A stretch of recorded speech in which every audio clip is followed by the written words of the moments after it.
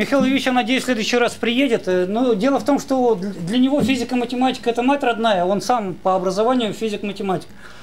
А я-то все-таки из гуманитариев, но я пришел по другой причине, потому что моя тема, она, как ни странно, сошлась э, в том числе и с физикой. Ну, на самом деле, это нормально, потому что материя во всех ее проявлениях, о которой тут любят говорить, но никто не знает, о чем идет речь. А, она, э, ну, просто как-то любые физические тела, тем и сознание, оно все равно как-то связано, только пока непонятно как. Вот это загадка, которая э, остается философской, потому что ее необходимо решить. А ответов мы, к сожалению, науки пока не дают. Философия бедная мучается, пытаясь решить этот вопрос. Ну, теперь я к теме, собственно говоря, своего доклада а, а, о теоретической физике и реальности. Ну, сначала начнем с простой констатации факта, что институционально теоретическая физика выделилась как самостоятельная наука, это примерно где-то в начале 20 века. А, почему институционально? Ну, потому что нужны некие формальности выполнить, для, которые как раз э, позволяют это сказать. А тут это, это, такая формальность состоялась, э, потому что кафедры теоретической физики э, до этого момента они находились в рамках философских факультетов, а с этого момента они выделились как абсолютно самостоятельно. Знаете, вот отпочкование произошло.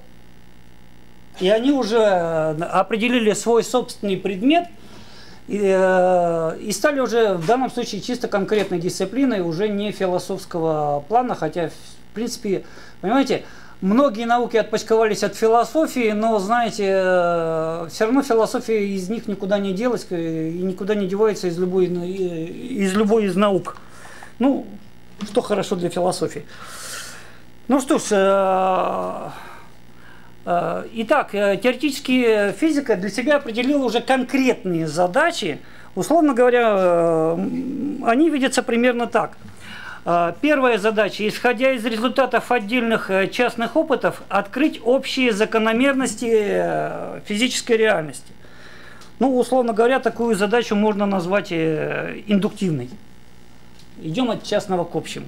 И вторая задача, уже исходя из общих законов, которые, в принципе, в физике сформулированы, далее показать, дать уже полное описание физической системы, Э, и самое главное, предсказать результаты конкретных экспериментов. Напомню, наука настолько имеет продуктивно, насколько в ней велика э, предсказательная сила. Пока она есть, все замечательно. Если э, в ней исчезает эта предсказательная сила, но в принципе данная теория научная или наука, она в принципе становится уже неинтересной, а в ней нечего делать значит, ей надо искать другие ходы, либо искать другой предмет. Или, либо переименоваться. А, это первое. Далее, а, ну опять же, чисто тезисно. А, одной из особенностей теоретической физики является то, что в ней очень высокая степень математики. Однако, э, здесь ключевая вещь, теоретическая физика не является разделом математики при всем при том. В чем тут нюанс? Математика вообще-то э, ограничивает только одно – логическая определенность и непротиворечивость. Все. Во всем остальном он абсолютно свободен. А физика имеет дело с физической реальностью. И в этом смысле это огромное ограничение, которое положено на физику.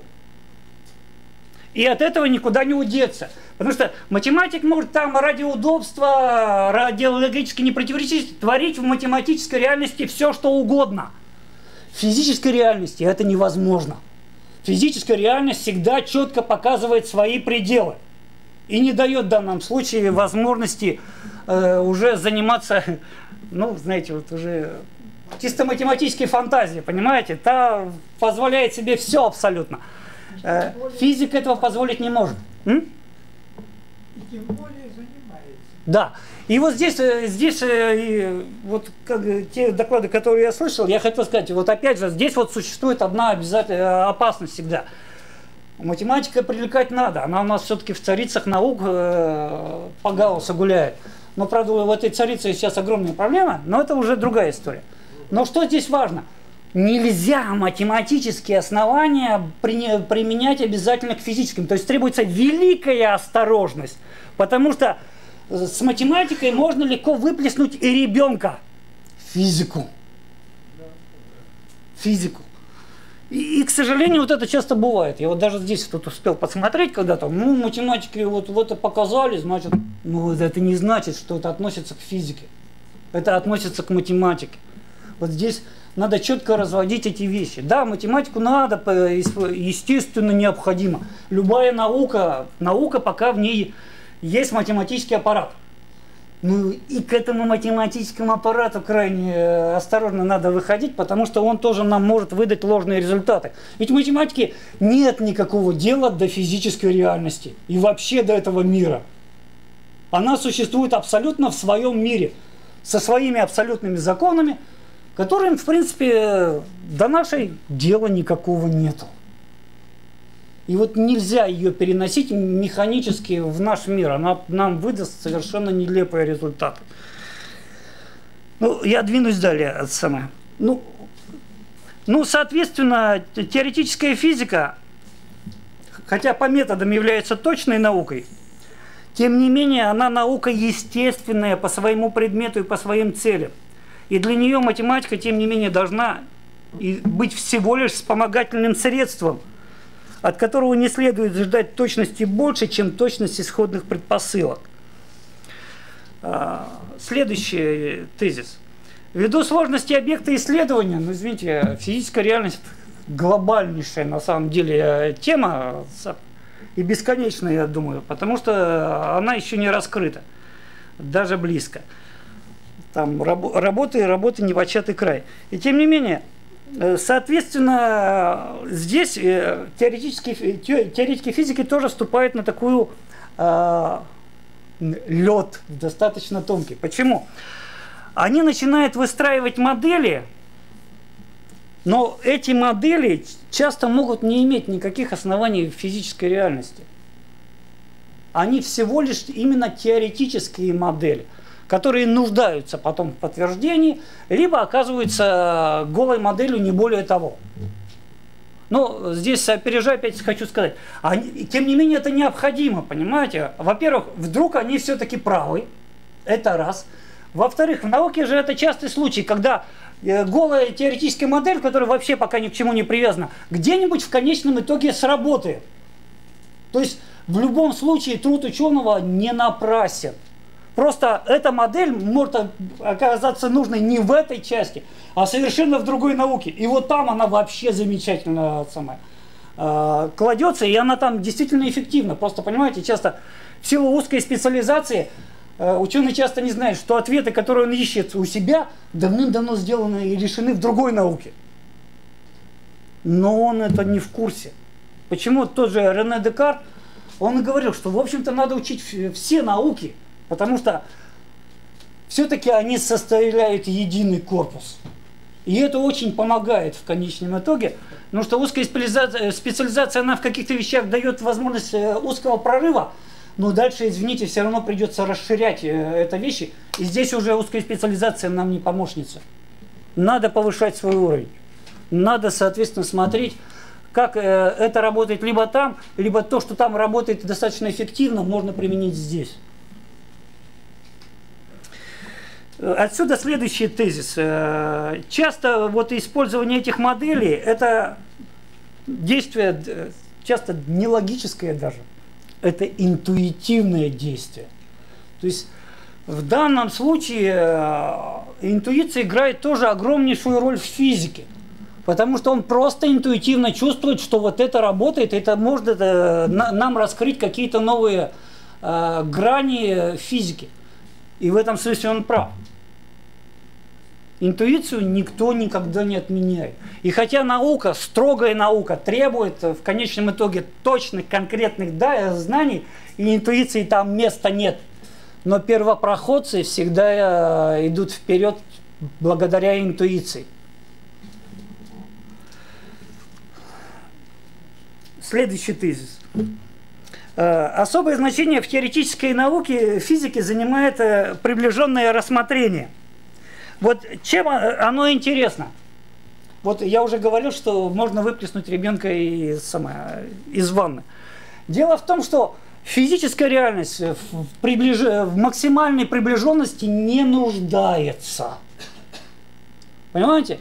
Потому что есть некие пределы, за которые уже нельзя переходить. Математика пройдет этот порог, а потому что она его все равно не видит. Это не ее реальность. Она пойдет дальше. Но физическая реальность на этом заканчивается. Ну вот сегодня э, Максим Григорьевич хороший пример приводил. Да, вода можно делить, можно делить до капли, можно делить до молекулы. Но извините, предел для математики не заканчивается, она дальше будет делить, но дальше нет воды. Дальше нету физической реальности. И поэтому здесь тоже вот некий есть э, момент, когда надо четко понимать, надо остановиться. Надо остановиться. Дальше голая математика, но физической реальности в ней уже не присутствует.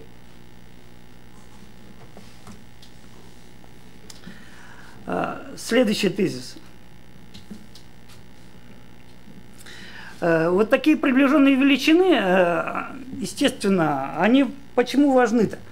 Математическое описание мира основано на взаимодействии непрерывных и дискретных явлений. И вот на этом э, основании Арнольд, ну, это академик, говорил, что математика есть вообще часть теоретической физики, где эксперименты очень дешевые, ну и вообще он математику считал экспериментальной наукой. Ну, думаю, он ошибся. Нет, ну она дешевая, конечно. Коллайдеры строить не надо, но маленький нюанс. Еще раз говорю, математика будет говорить о своей математической реальности. В этом смысле она не экспериментальная наука. Э, другую точку зрения высказал Поль Дирак.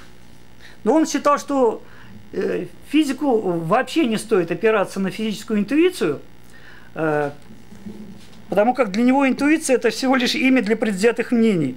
А правильный путь он видел в том, чтобы взять математическую теорию, последовательно развивать ее и привести постепенно к важным моделям, а сами, э, сами физические законы вообще должны обладать математической красотой. Идея красивая, но в данном случае, опять же, на мой взгляд, это э, самое, перебор в сторону математики. Дело в том, что физические законы могут не обладать свойством красоты. И не обязаны иногда обладать свойством красоты. Вот математика любит симметрию, любит красоту, да, но опять же это свойство математики. А мы пребывая в этой физической реальности, получили эту реальность такой, какая она есть. Я не знаю, там по принципу какой красоты ее выбирали, но можно там вслед, вслед за Лебницем сказать, что этот мир лучший из миров. Почему? Он, конечно, несовершенный, но извините, просто другие миры еще хуже. В них другие физические константы, в них совершенно другая жизнь, в них другой наблюдатель, не человек, другой наблюдатель. Но теории инопланетян или еще что-нибудь можно вывозить сейчас. Но нам дали вот это. И с этим мы с вами будем жить. Ну, осталось только одно. Возлюбить это и признать это красиво. Все, что для нас с вами остается. И не, и не ворчать постоянно на то, что он несовершенен. Извините, другие, напомню, гораздо хуже.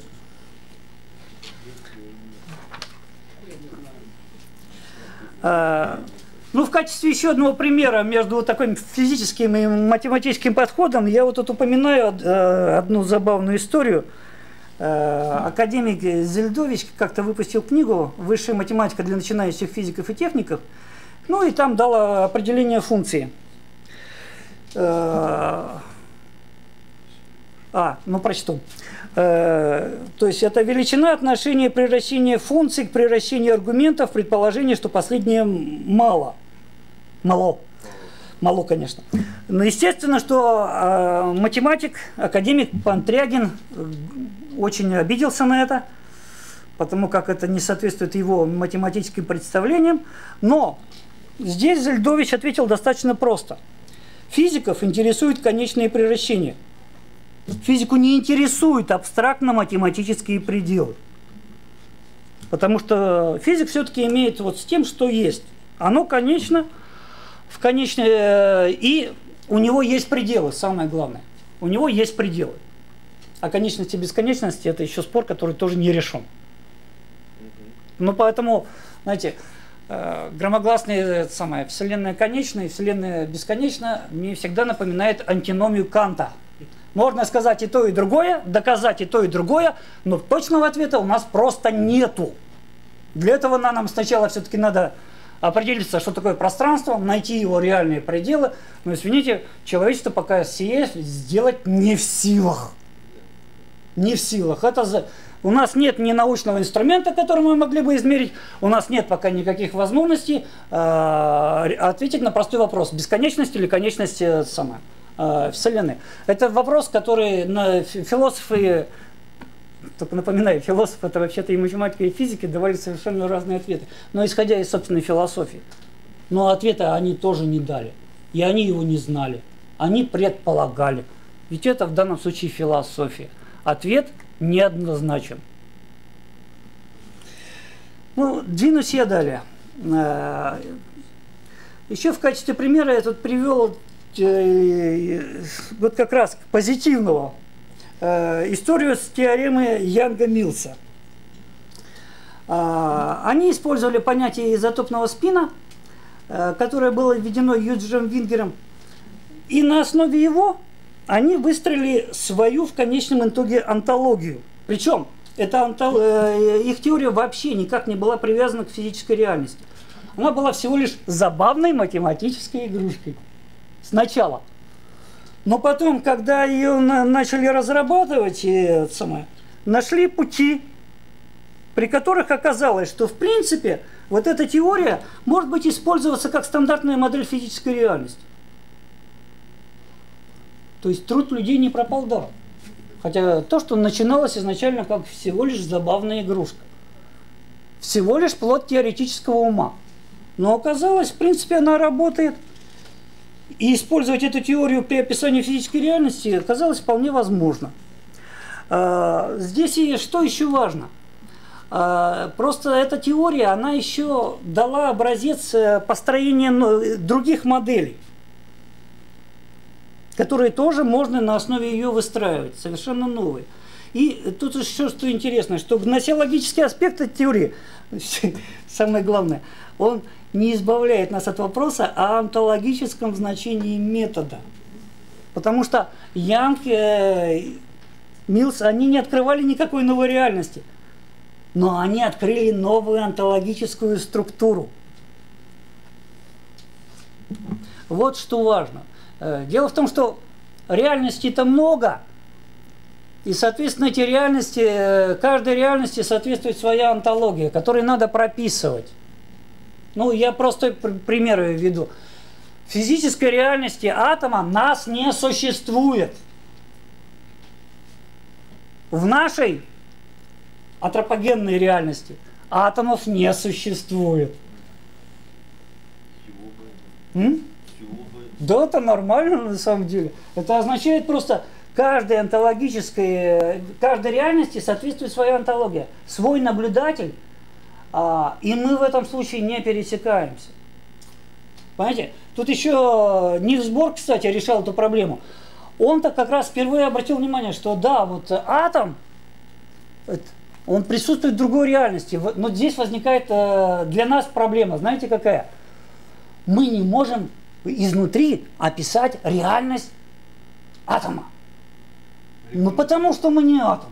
А это, нет, понимаете, это очень важно, потому что в любой реальности нужен наблюдатель, который, по крайней мере, может дать э, принципиальный иной взгляд, взгляд изнутри.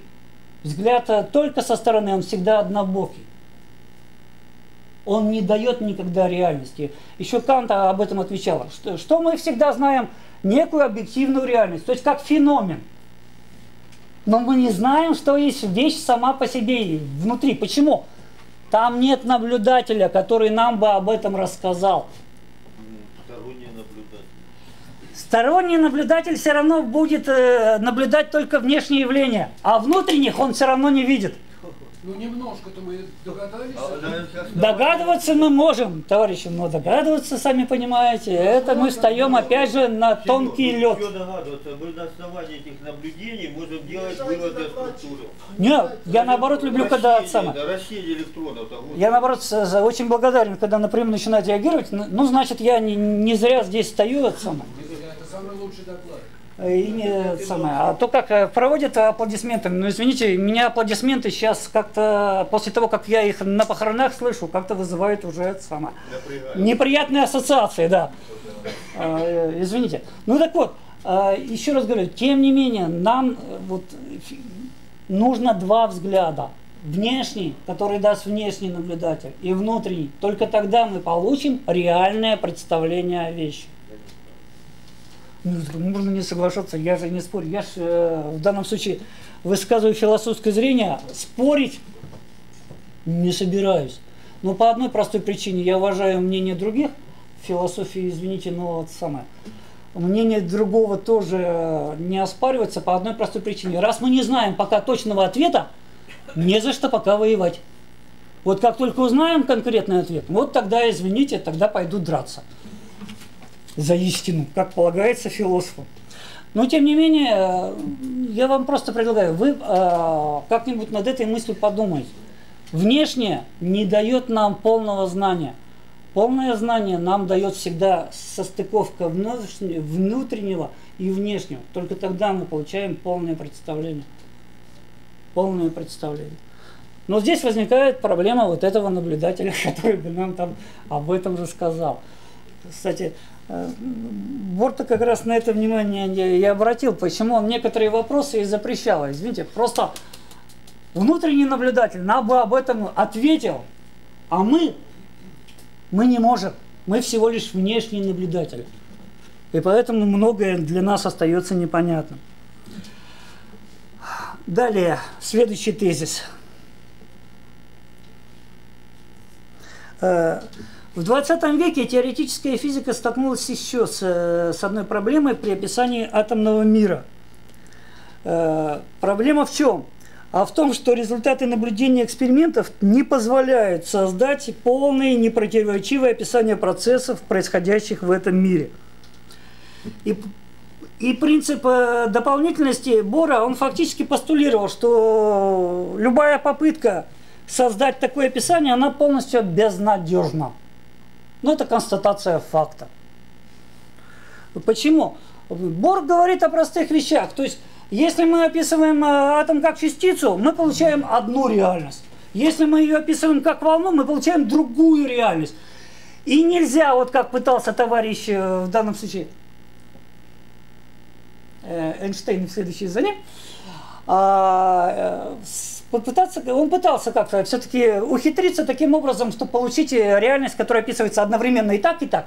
Не получается. Зада эта задача для Эйнштейна оказалась безнадежной. Ой, извините, а я еще столько не рассказал. Ну ладно, тогда я еще одну задачку подкину. А, эта задачка, условно говоря, называется квантовый компьютер. Чем интересен квантовый компьютер? Ну, классически понятно, там либо 0, либо 1, условно говоря, да? Квантовый интересен э, тем, что он как раз одновременно и 0, и 1. Ну, то есть он фактически э, у нас э, проделывает огромное количество операций, до которых классический компьютер никогда не в состоянии достичь. Это новый прорывной скачок. Нам-то чем он интересен? А что вот этот, э, ну, с точки зрения философии, что квантовый э, компьютер может работать в любой реальности и во всех возможных мирах, которые существуют. Ну, я уже говорил сегодня о, о Эвертоне, который, в принципе, вот э, теорию множественности миров тоже высказывал. Так вот, квантовый компьютер, он рабочий везде.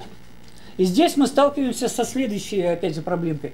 Либо мы его создадим, и он нам а, откроет новые возможности, о которых э, мы пока не можем даже самое описать. И главное, он, наверное, в конце концов сможет нам описать как-то эту физическую реальность. Либо не сможем.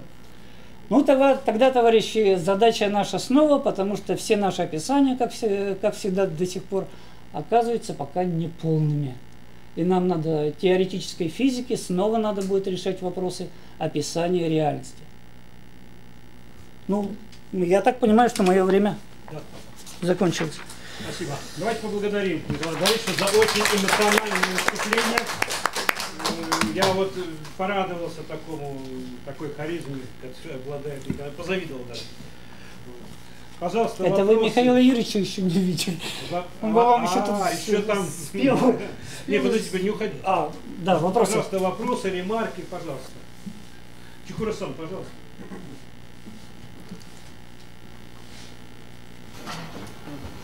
Я э, сделал а, исследование э, в искусственном интеллекте в 1980-х годах и э, э, в начале, э, Поближе к микрофону. в начале э, дев- девя- 90-х годах. И я обнаружил, что вероятность, а, вероятностная теория не может э, самообучить.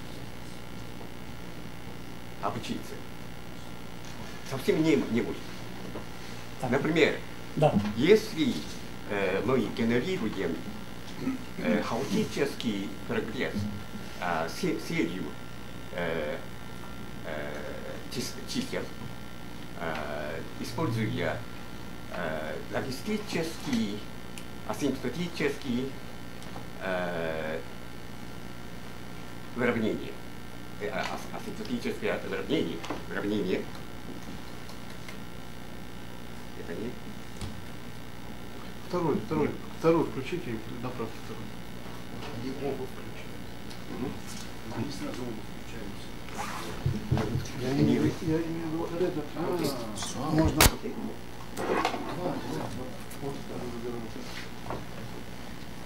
Эта а, веро- вероятностная теория совсем не может э, самообучить это серию, се, это серию э, чисел, э, генерирована э, одной линии асимптотического уравнения.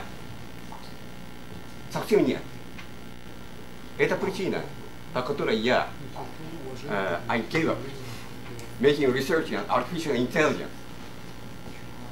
And uh, I asked to teach me, uh, I asked uh, Anatoly Pavlovich Smirnov to teach me uh, what is the real, true mathematics, which criticizes probability theory.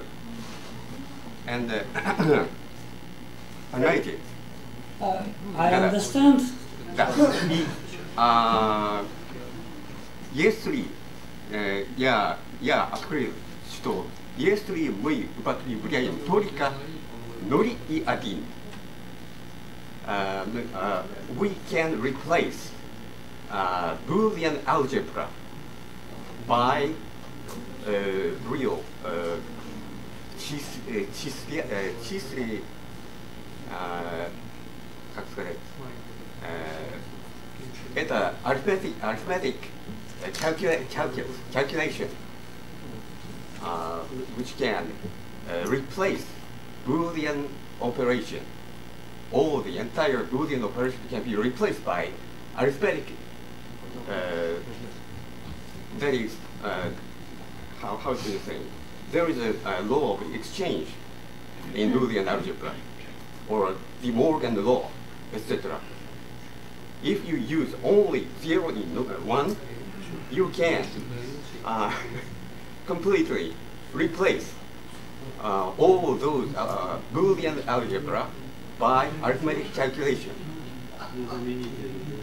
And uh, uh, Batina, yeah, yeah, uh, заметил, что есть э, возможность создать искусственно венно, на интеллектуальную архитектуру компьютера.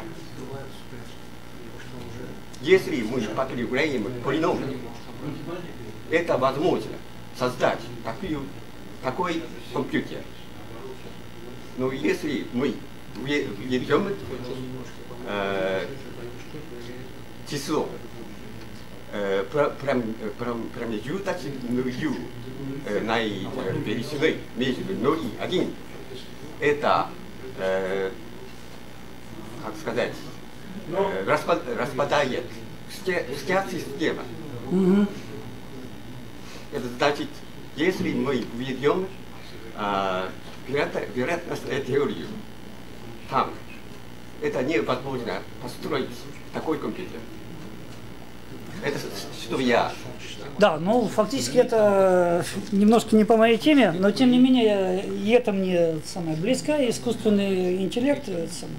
А главное у меня просто, понимаете, я-то э, множественной, множественной субъективностью занимаюсь, а она интересно выходит как раз на квантовый, э, на квантовый уровень. И фактически там в квантовой биологии заскакиваешь. И главное, сознание, оно где-то на уровне квантов на самом деле. А, так вот, ну, я не знаю, я не программист, поэтому решить проблему как с э, вероятностью систем, а она нужна, понимаете, в чем дело? У человека изначально нечеткая логика. И это особенность человека. Мы не предназначены целенаправленно никакому виду деятельности. Поэтому мы дилетанты во всех видах деятельности. Это наше зло и это наше благо. Искусственный интеллект для меня, ну лично он уже создан, это все понятно. Потому что если компьютер э, Ну, даже в, в шахматы просто выполняет и даже выигрывает, в принципе, что э, для нас мышление? Это выполнение некоторых логических э, процедур. Они выполняют эти логические процедуры. Пусть пока в узкой области, но далее, ну и даже в этой области они уже, в принципе, часто превышают возможности человека.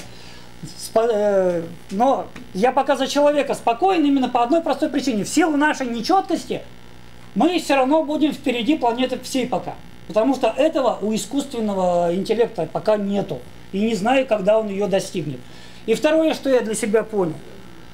Сознание и интеллект, он все равно привязан к своему носителю. И поэтому биологическое тело человека, у нас сознание потому и такое, что оно привязано к нашему телу. И оно видит этот мир вот так. Искусственный интеллект, он привязан к совершенно другому телу, он видит мир совершенно иначе. И значит, если можно смело предположить, что где-то существует сознание в совершенно других формах. И оно видит этот мир совершенно иначе, потому что тело там не наше. Э, Я маленькую ремарку сделаю. Э, Кто-то из э, философов заметил, может быть, вы мне напомните, кто, Николай Ильич, что для того, чтобы Богу увидеть мир нашими глазами, ему нужно забыть, что он знает.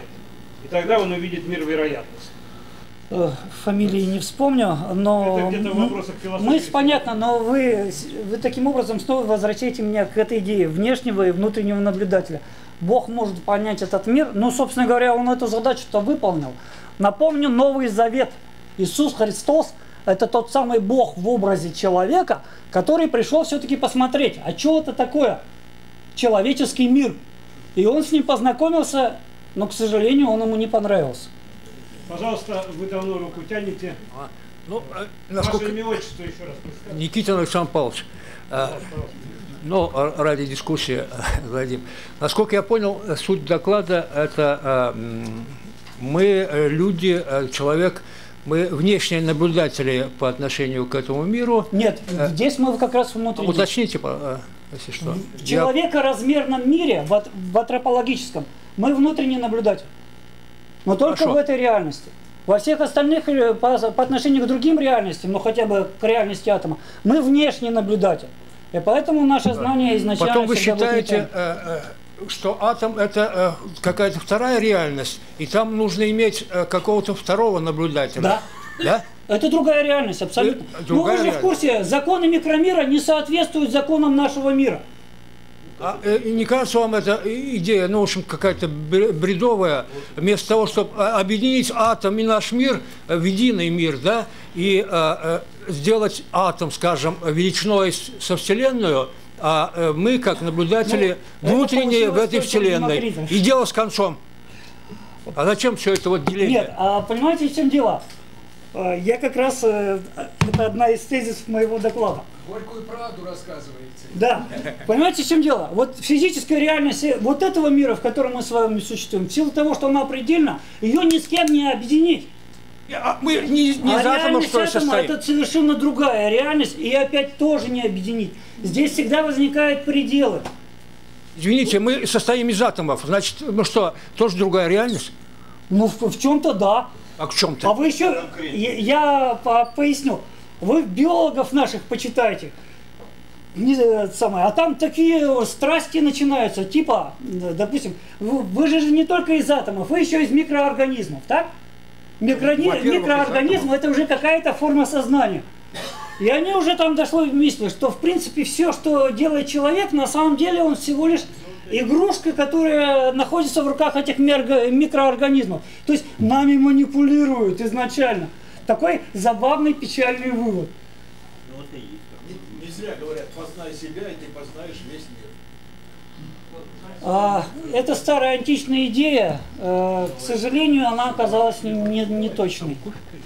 Давайте, пожалуйста. Познав себя, мы можем сделать только одну вещь – познать самого себя.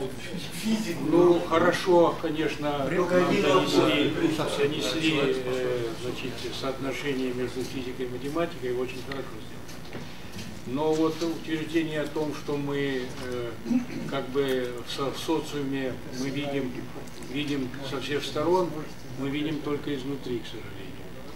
А атом мы можем наблюдать с помощью инструментов.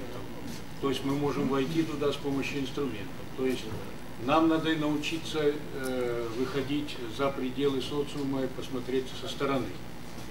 Значит, Так. пока это мы только это. Вот эти два момента как-то у вас не проследились. Э, Секундочку, а, э, поясняю тогда. У нас есть, конечно, инструменты заглянуть в мир атома, только еще раз, они все равно останутся внешними. Это первое. Второе. Вот в чем прелесть человека и в чем прелесть философия? А, Мы по отношению к социуму всегда еще пытаемся занять не только внутреннюю, но и хотя бы внешнюю позицию. Это же можно для нас сделать. Ну, давайте так. Э, Объясню, как мы можем быть внешними. В силу того, что мы с вами русские, все без исключения. Русские это менталитет, это не национальность, не нация, вообще никакая. У нас свой специфический взгляд на этот э, мир. Но рядом с нами есть европейцы, которые видят его совершенно иначе. Вот на этой стыковке мы можем проследить. Они нам покажут, какие мы для них. Э, Извините, картинка чаще всего абсолютно вульгарная, потому что они это самое, у нас видят врагов, и они нам боятся, но поэтому у них конкретно всегда там медведь появляется или еще кто-нибудь, или страшный Путин. А мы можем со своей стороны показать и недостатки, и пределы европейцев. Можем, можем. То же самое мы делаем по отношению к китайцам. Э, Потому что они нас видят такими, а мы видим их совершенно иначе. Мы им рассказываем, как они выглядят со стороны. Поэтому здесь проблемы внешнего наблюдателя в социуме для нас с вами нет. Кстати, я бы на месте товарищей э, антропологов давно бы, э, во-первых, заявил все-таки, что Россия это отдельная русская цивилизация, и давно постарался бы это обосновать. Потому что, э, объясню почему. Говорят об этом многие, там, начиная с Данилевского и так далее и тому подобное. А научно-то обосновать до сих пор никто этого не сделал. То есть фактически это остается пока на уровне обыденного мнения, не более того. Пора бы вообще-то как-то научный подход к этому сделать, и давно это, самое, эта задача не выполнена. А она нам нужна, понимаете? Потому что всегда возникает э, любимый вопрос славянофилов и западников. Мы все европейцы или мы все-таки Восток? И мы всегда натыкаемся на проблему. Мы не Европа, мы другие. Но мы и не Восток, мы другие. Но это надо обосновать. Да ладно, что-то далеко поехали. Нет, ну, Далеко Ну, это интересно. нет, секундочку, мы говорили о социуме и говорили о внешнем, давай внутреннем. вопросы, А потом перейдем уже к этому. Это все-таки про физику. Верно говорит. Связано все. Все связано, понимаете? Вот идеальная социальная философия – это физик, который обладает, э, условно говоря, уровнем знания э, Бора и Нильса. Почему? О социальной реальности нельзя говорить, не зная физической реальности, она фундамент. Не зная биологической реальности. Это второй фундамент. И только на это наслаивается соци социалка. У нас, к сожалению, беда социальной философии в чем? Они физики не знают, они биологии не знают, они нифига не знают о социальной реальности по одной простой причине – у них фундамента нету, у них базы никакой нету. Они говорят, нахрен это нам нужно, вот ко мне. А вот без этого нельзя. Конечно. И это значит и дилетант на самом деле, да. человек, который ничего не понимает и в социальной философии. Вот давай потом вы, а потом, потом вы. Да. Я получил истинное удовольствие э, от вашей образной речи. Микрофон говорите. Я, я слышал, я же самое, все-таки еще и преподаватель философии. Да, да, да, Учеников я различаю с любого уровня. И даже шепотом. Я вот. еще, я начинал просто учителем. Понимаю, понимаю. Ну, э, исключительно талантливо, конечно, вы свой предмет докладываете. Да, и вот э, в связи с тем, что вы развили эту тему отделения теоретической физики математики физики как, как таковой, я вот хочу задать такой вопрос. А, ну, естественно, что в последнее время э, теоретическая физика занимается геометризацией всех, а, а, всех процессов, которые происходят в физике. Да, и вот вопрос мой неожиданный. Ну, скажем так, сейчас, сейчас теоретическая физика в ее искаженном а, а, виде преобладает. А когда у нас, наконец, а, возобладает реальная физика, будет диктовать нам, а, скажем, Понимаете, в дело? Здесь две вещи есть объективные, но Вопрос-то, конечно, к физикам-теоретикам надо отдать. Я-то не физик-теоретик. Но я могу сказать, здесь есть на самом деле объективная причина, почему такое происходит. Дело в том, что теоретическая физика, она хочет сделать, э, ну это естественно входит в ее часть, она хочет сделать прорыв. А физика как таковая, ей пока материала-то никакого не дает. И вот здесь, к сожалению, часто во многих науках возникает вот эта проблема – незаметно наука становится, из науки становится мифологией. То есть она уже куда-то уходит в такие вещи, да, и, в принципе, полностью теряет э, представление о том, что, чем она должна заниматься, и что это понятное желание вырваться, открыть какие-то новые горизонты, но еще раз говорю, это всегда хождение по льду. Она поэтому в математику ударяется, потому что если э, физика не дает никаких, то приходится как-то пытаться перескочить и что-то сделать. Но часто это делается каким макаром? Все-таки все, -таки, не отрываясь от физики. Они берут вот знания физики, так, о частицах и всех остальных, а потом из них пытаются скомпоновать какую-то новую теорию. Да. Ну, извините, в науке присваивать себе, это в том числе любимое занятие. Это специально. Естественно. А кто в этом сомневается? Все, поехали дальше. Что вы можете сказать касательно человеческой, э, о смысле или бессмысленности человеческой деятельности, в том числе научной? И касательно вечных вопросов, кто мы, откуда идем, вы определили, мы русские, но есть еще один русский вопрос. Что делать? О, нет, что делать, это к Путину он-то знает, что делать. А я на ваше отвечу. Э, здесь э, кто мы и откуда сие покрыто мраком и ничего не известно. Просто я антропологию, походу, еще читаю. И этот вопрос один из моих любимых. Ничего не известно. Мы с вами Иваны родства не помнящие и не знающие. Мы в этом смысле... И куда э, идем? А никуда не идем. Так, я сейчас э, еще одну любимую фразу наших экзистенциалистов скажу. Мы все помрем. У меня студенты периодически эту фразу произносят, и зачем нам это все надо? Товарищи, да, мы помрем. И поколение следующее помрем. И человечество когда-то исчезнет. Но извините, мы живем здесь, мы живем сейчас, и мы хотим получать от этой жизни удовольствие. Кто-то получает удовольствие от научных поисков, кто-то болен идеей сделать что-то для человечества. И это именно это и является смыслом человеческой жизни. В чем прелесть нашего э, человека? Мы сами задаем себе смыслы, мы сами задаем свои цели. Как скажете, так и будет. Ну, понятно. Наталья, давайте. А? У меня вообще три вопроса, но может быть их даже в один нужно сместить. Вот я их... Да. Мне кажется, при ответе... Так, ладно. Значит, вы сказали, что предсказательная сила в науке – это ее как бы движущая сила, да? Да. Вот. Тогда почему вы отрицаете математические различные выкладки, в частности, симметрии, другие теории, в качестве роли предсказательной силы науки? Так, понятно. А, понимаете, в чем дело? В симметрии уже нет никакой предсказательной силы. Она уже конста... она... это уже констатация факта. Да, она обладает э, красотой, но понимаете, опять же, это, это чисто субъективный. Э... Красотой, вы видите, вы ее употребляете. Нет, а я, понимаете, я еще и эстетику читал, в том числе показывал эстетику, э, красоту эстетики математики. Но поэтому я в курсе, о чем я говорю. Но дело в том, что предсказательной-то силы действительно там нету. Почему? Мы, мо мы можем это любоваться, мы можем это зачитать, но предсказания там никакого нет. А знаете почему? А потому что понятие жизни, оно несимметрично. Нет, и там нет симметрии. Вы гармонии. Вы сами говорите, мы Ой, нет, нету гармонии. Нету гармонии. Гармонию мы, товарищи, с вами задним числом даем и чему-то приписываем.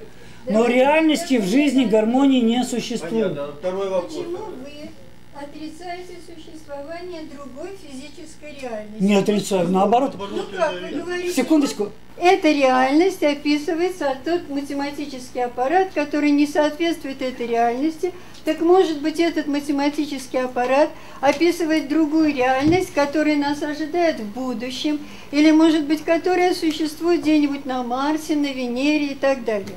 Так, у меня здесь одно утешает, что вот э, есть вот эта физическая реальность, и я надеюсь, что мы в ней будем существовать. На Марсе та же самая физическая реальность, э, что и здесь, но с нюансами, что там тяготение, пятое, десятое, но это уже детали. Но физическая реальность нашей Вселенной, она в данном случае одна. Я не отрицаю других физических реальностей, наоборот, я с удовольствием говорю о теории возможных миров, потому что наш мир не единственный, здесь я вот с Декартом, ой, с начиная с Демокрита, э, придерживаясь теории множественных миров. Наш один из миров, существуют еще другие, о которых мы просто не знаем. Мы же заперты в своем мире. Правильно. Так может а... быть эта математика описывает другой мир. А вы ее сразу... М- может, э, но здесь, э, здесь, тогда здесь по Аристотелю. Здесь сугубо прагматично. В силу того, что нас интересует этот мир, извините, вот тот будет нас интересовать тогда, когда мы будем там. Может описывать, Но может не описывать. Да, надо узнать, надо до туда добраться. Э, здесь я другое говорил. Просто, э, вот опять же, одна из красивых мыслей. Просто каждой физической реальности соответствует своя математика. Можно ремарочку небольшую опять же сделать. Э, Кантер, Геворг Кантер, сущность математики в его свободе. И вот на этом основании можно сказать, вот я хочу проиллюстрировать мысли Николая Борисовича, что сущность физики в ее несвободе от закономерности, от эксперимента. Вот, вот я, так, я так понял эту мысль. От реальности, да. Ну, третий вопрос, да? Вы сказали, что внешний и внутренний наблюдатель только вот в своей совокупности интегрируется два мнения, мы можем дойти до мысли истины. Да. Да, вот в соответствии с этим своим высказыванием, какие различия, меры, параметры, измерения, единицы измерения вы видите между внутренним наблюдателем и внешним наблюдателем? А, вот это хороший вопрос. Конечно, отлично. Но в нашем человекоразмерном мире, в чем наша прелесть? Мы можем, мы внутренний наблюдатель, и мы можем по отношению к нашему внутреннему наблюдателю построить самое, стать внешним наблюдателем. Понимаете, в чем нюансик-то? Я сегодня поминали Блаженного Августина, я и поминал, да? Понимаете, в чем дело? Блаженный Августин открыл феномен внутренней реальности человека. Внутренняя реальность человека не описывается в внешним наблюдателем. То есть в физических категориях нашу внутреннюю реальность не описать.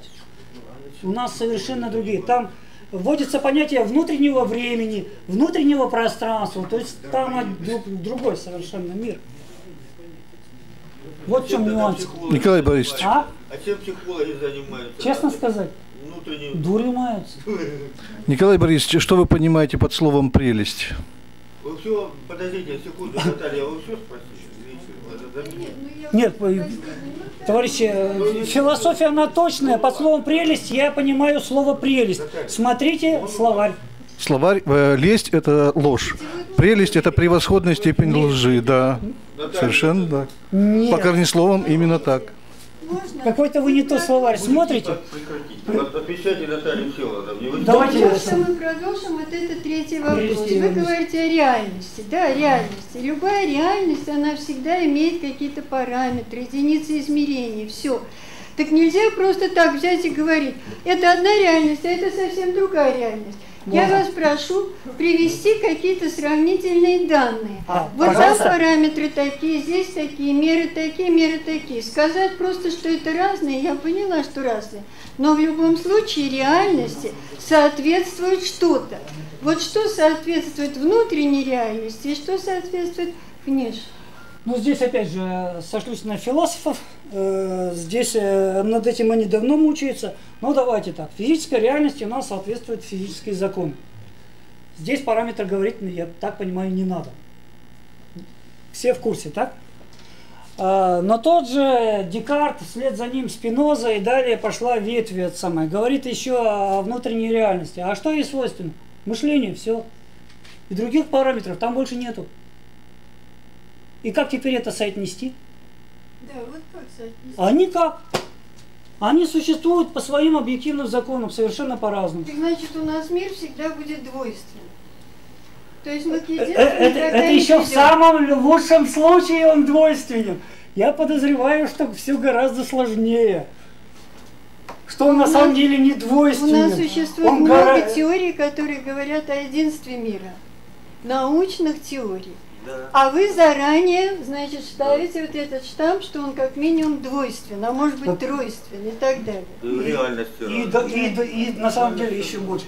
А я объясню почему. Вы понимаете, на самом деле, вот самая простая теоретическая мысль, с которой легче всего начинать, на самом деле она логическая, и она просто, что называется, удобство мышления. Принять как тезис, что все едино. Да.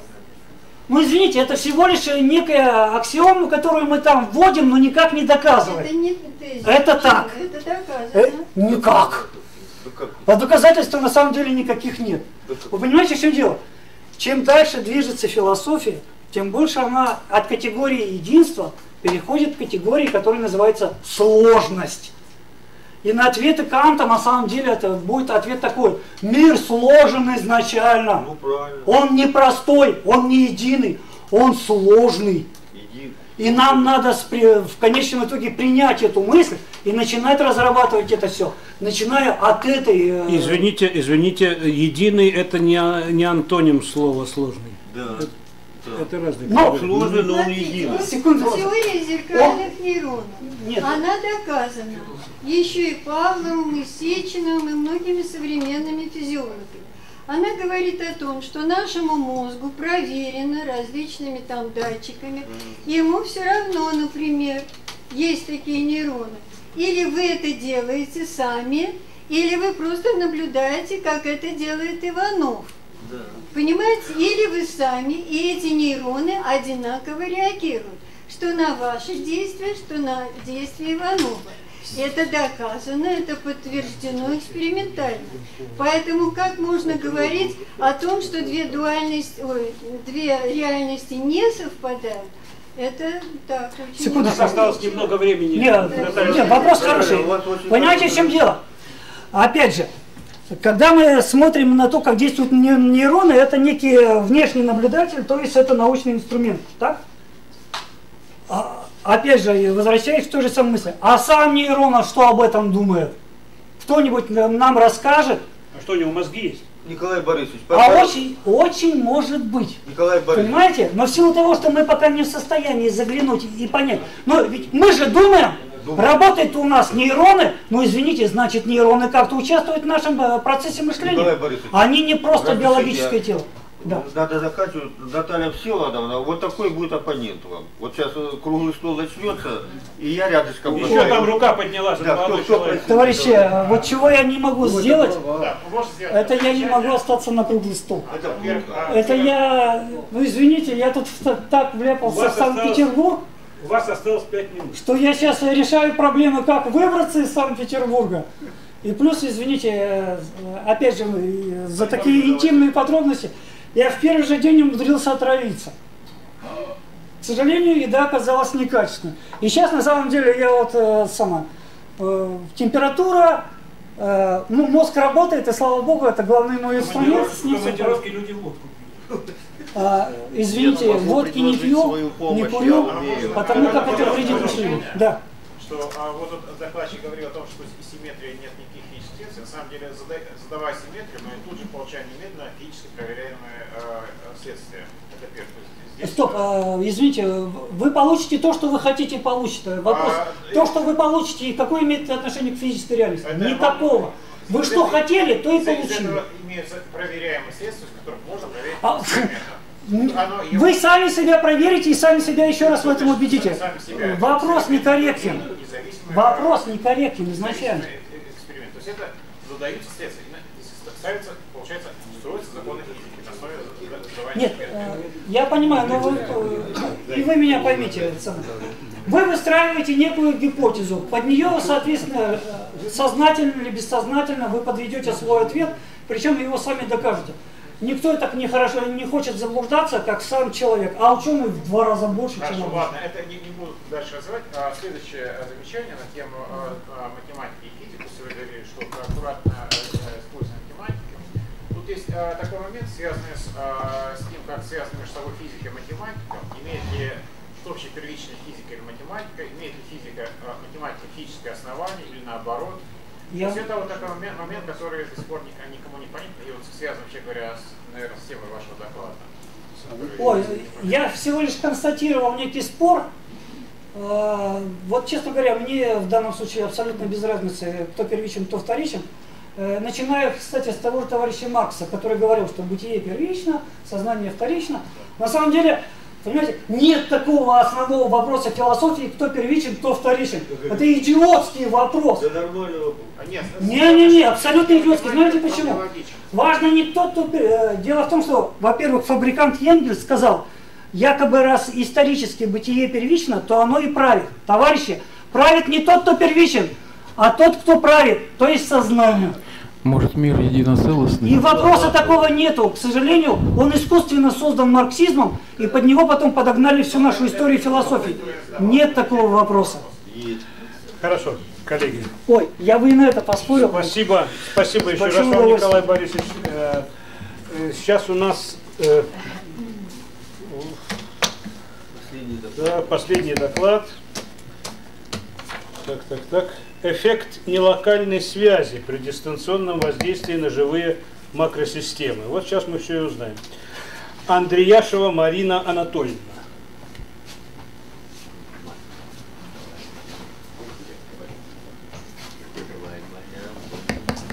У вас презентация выведена там? Знаете, вообще-то она была, но теперь я не знаю, где она. Сейчас, подождите. Мальчики не делают.